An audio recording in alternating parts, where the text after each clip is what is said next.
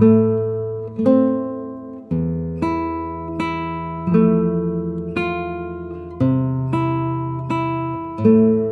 you.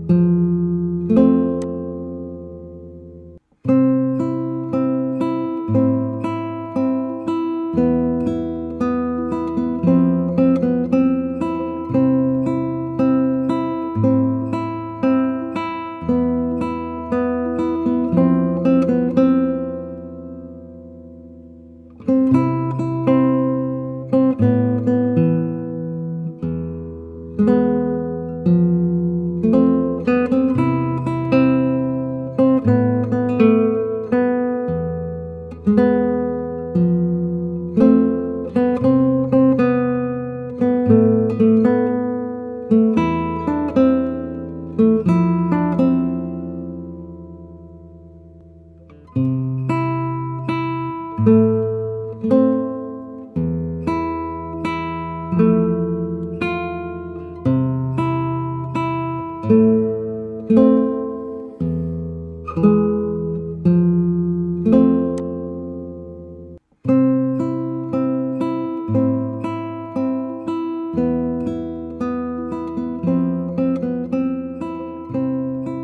are my thoughts. What are yours? Leave them in the comments below. Please share this video for education and awareness. For the Dum Dum News channel, I'm Dum Dum.